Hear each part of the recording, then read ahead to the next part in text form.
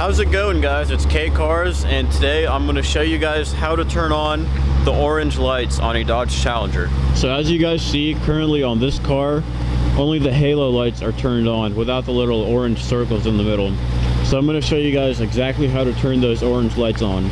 Alright, what's up guys? So here in the car, all you want to do, click on apps and then go to the second page, click on settings, and then you click on lights right there then all you have to do check daytime running lights right there. And let's go outside and see the orange lights. So as you can see the orange lights did turn on with that. They're actually a lot brighter than the regular halo lights and I kind of like them.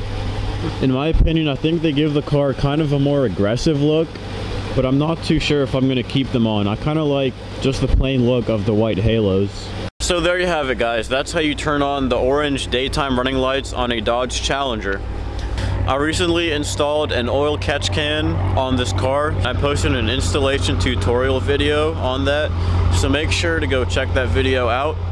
I also posted a review and an unboxing. And I'm going to tell you guys some future plans for this car. Uh, I'm sure you can probably hear the exhaust right now. It won't sound like that for long. So I'm actually getting Kooks long tube headers for this car and a Catalyst mid pipe.